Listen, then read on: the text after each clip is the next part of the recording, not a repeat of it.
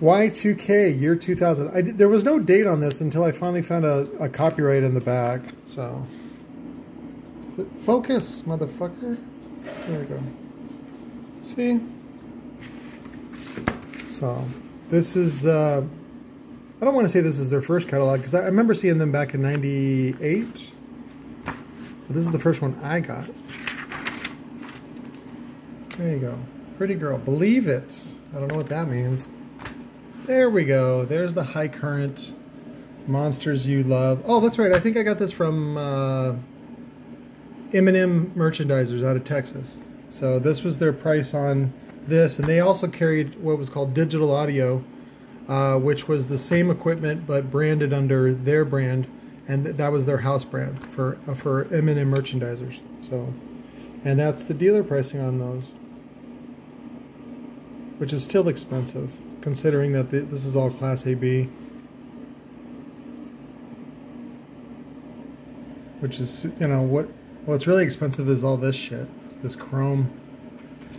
And these came in like, you know, tissue paper and wooden crates and all that kind of stuff, you know, which was, uh, it's a good gimmick because you guys, you guys fell for it.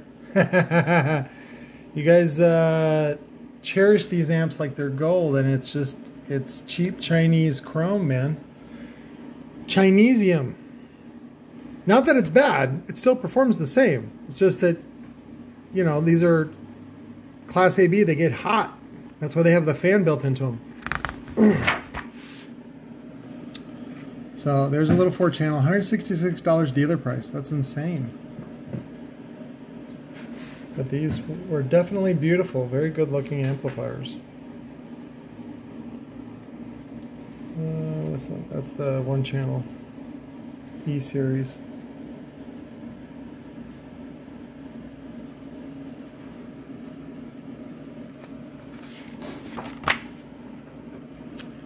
It's their little uh, the bass boost. Is that the one the bass? No, that's just the line driver. LOC. Is it an LOC? I think it's an LOC. And then uh, this was the one I liked. But not for $77. Jesus Christ. Dealer price. Well, what, what it does show you is that, you know, they were able to get away with that. So, because, you know, when you're selling this for $150, why, why do you care about it if it's $65? You know what I'm saying? So, and that's what you're supposed to do as a dealer. But they didn't have any distribution, and so they would use a, a, a wholesaler like M&M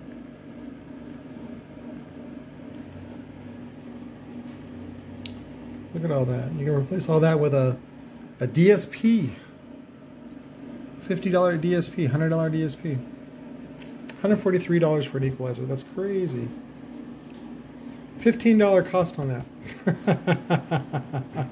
and they're dealer pricing it at 100 so they're probably selling it to uh, they were probably selling it to M&M for probably right around $60 maybe even $50 and they split it with them so there's a lot of margin on these, especially when you're ordering direct from China.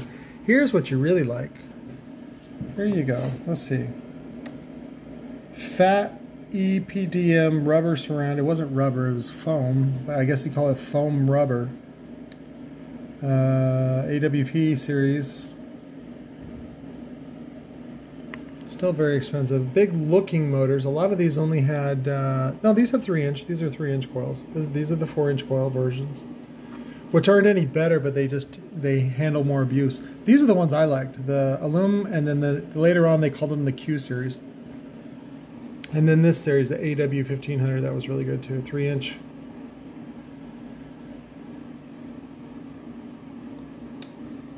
Six hundred RMS, so it's like a TC seven. So, and then this is the stamp frame version.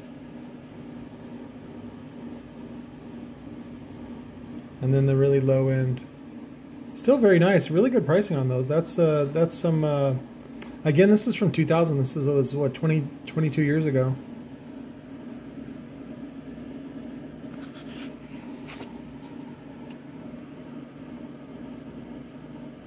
They use a cast frame, as if that's. I mean, you, you get a little better power handling, just because it can disperse the heat better.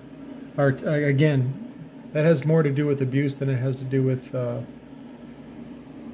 uh, loudness.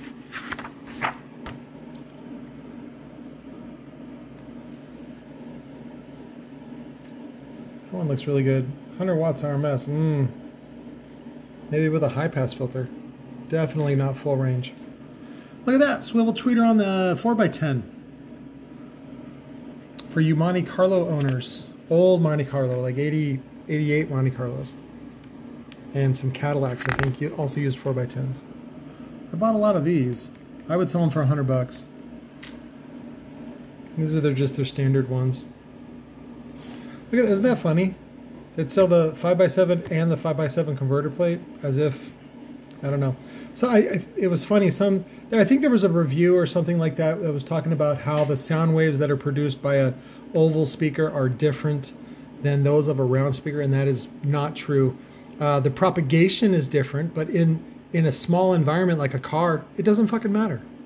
So, like you know, they they put these audiophile type of um, super scientific tests on something that's going to be used in a car. It's, it's totally dumb. Dumb, dumb, dumb, dumb. What does it go down to? 150 hertz. So you'd cross it up at 300 hertz, one octave up. Very nice capacitors. These look familiar, like the uh, fusion stuff that we saw. Same same bars. Those might have been from. Uh, I, I don't I don't think it was called Edge back then because this is right during the time of um, Lightning Audio, uh, you know, era. These I really like too. These were nice. Again, they're very affordable. Uh, that's still high. I'm sure China cost on these was probably right around thirty dollars uh, a pair.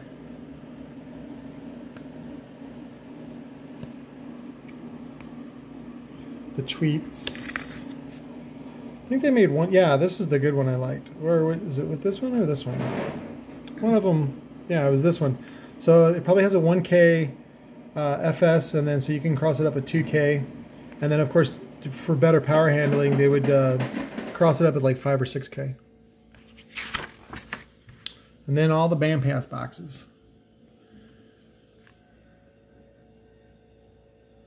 So many bandpass options. What what are you gonna do? I like this one. The triple. I like I liked it because it was a it was a vinyl wrapped top, if I remember right. And then I like the, the grills on it too. That one's got the VU meters built into it. Is that one powered? That one, no, it is not. Maybe this one is. No, but it would have VU meters in it. That's cool. So that the uh, the the sex slave that you uh, captured uh, and is laying in your trunk can see the VU meters. Because that's the only people that's going to see that thing. So dumb. Uh, empty boxes. Again, I really like these because of the vinyl wrapped cover. Just look nice. And then wire. 8 gauge kit, $24. Wow. And then wire by the spool. Getting down to the accessories. Some of the accessories were cool. Here's the prices on the RCAs. That's about what I sell the recoil stuff for now. We sell 20 foot for 10 bucks. So, because it, it doesn't cost that much, especially from when you're buying direct, like, you know, recoil, edge, you know, those guys.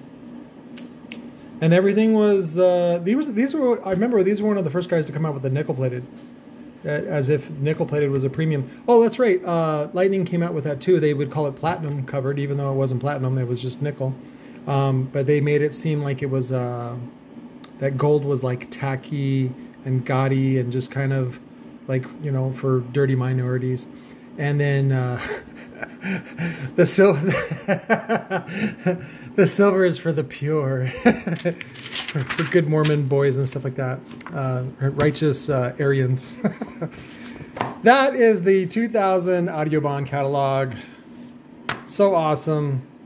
Love you guys. Talk to you tomorrow.